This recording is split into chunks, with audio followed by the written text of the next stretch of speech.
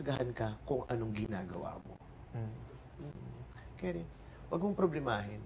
Dahil wala naman talaga Natakot lang ako talaga ako nung una kasi hindi ko pa alam kung anong magiging resulta. Pero nung sinabi niya, napahanga pa nga ako. Tapos, napahanga ako sa tapang niya. Tapos, naisip ko na mas, na mas maraming hahanga sa kanya sa labas kaysa yung mga husga. Kasi iniisip ko maraming mga husga. Natakot ako para sa kapatid. Pero, Yan. pero nung sinabi niya na, ako mismo napahanga ako sa kanya. So, na-realize ko na mas maraming hahanga sa kanya. Kasi hindi mo siya masisisi na mat- takot. Ikaw nga natakot eh. Natakot din siya. Pero ngayon pinakita mo sa kanya, hindi, na siya, hindi ka natatakot. Wala na siya i-worry. Nag-worry naman siya hindi for himself, eh, for you. Di ba? Pakita mo sa kanya na, fourth, huwag kang mag-worry. Carry ko to. Sabihin mo naman sa kanya, push mo yan, te. Ganon. Push mo, te. Ba't hindi ka nagsasalita? Niya. Naiyak. Salita ako. Bakit?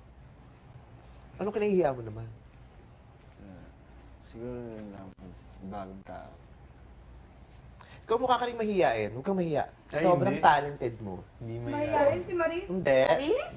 Wait. Galing yan si Maris, asap niya. Mukha, di pa nabibrake, diesel, di pa nag-iinit, no? Kaya Mm. ganyan.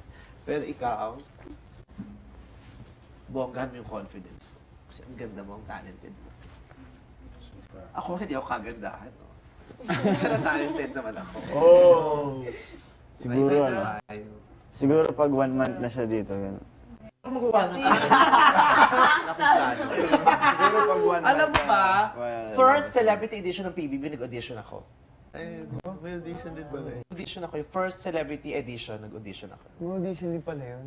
Oo. Yung batch nila, Rustum. Apo. Kung bibigyan po kayo ng chance na mag-PBB celeb, Mm. kahit po kayo. Kila Jan, kila Jan, no? Jan Welcome. Kat. Oh. Ha? Ang pin. Bakit po ayaw niyo po? Wala naman Susunod ko na pero, susunod ko na pero nakapanty lang ako. Baliw. Hindi Dito siya pwede, no? Sinabi ko na talaga kay kuya.